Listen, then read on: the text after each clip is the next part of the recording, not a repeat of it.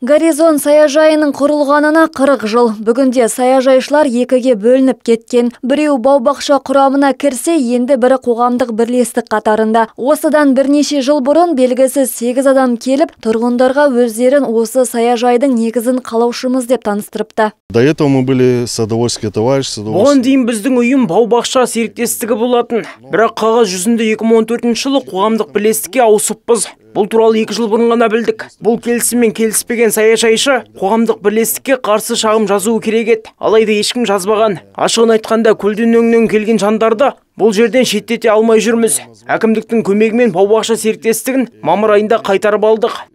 Александр Иванов өткен сәуір айында Горизон саяжай қауымдастығының төрағасы болып сайланды.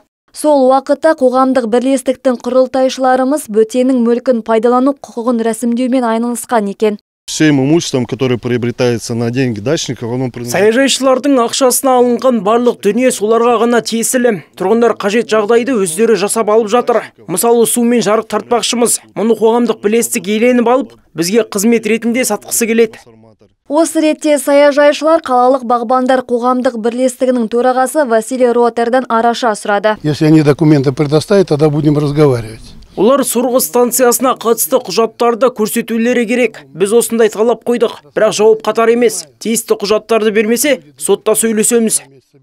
Салдарынан бағбаншылар сусыз қалған. Апта ыстықта еккен дақылдарын суара алмай дал болыпты. 40 жыл бұрын пайдалануға берілген су құбыры әбден ескірген. Жер телімдерінің иелері оны соңғы жылдары ешкім жөндемегеніне сенімді. Мы ждали воды, и нас вот так вот всех вот подставили. Бәрі кеуіп кетті. Су болмағаннан кейін жеміс жидек өспейді. Саяжайшылардың барлығы сусыз қалды.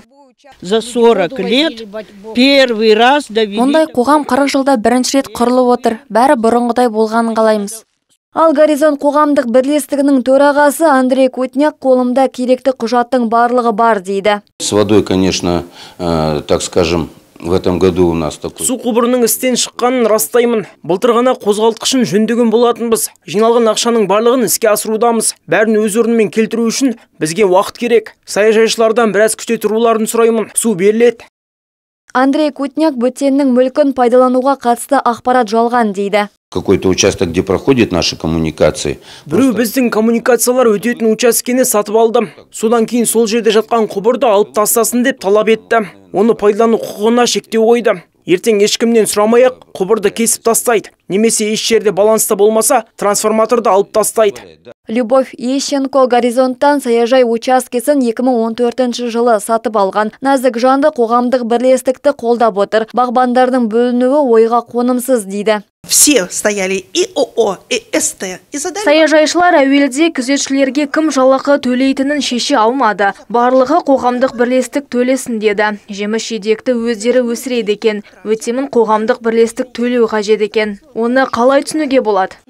Электроэнергию, э, тоже водоснабжение, зарплата охранникам. Пайдаланған су мен жарықтың төлемін, күзетшілердің жалақысын қоғамдық бірлестік төлеп отыр. Не қылған қоғамдық бірлестік деп ешкім осыған дейін сұраған жоқ. Барлық құжаттарда бірлестіктің мөрі болды.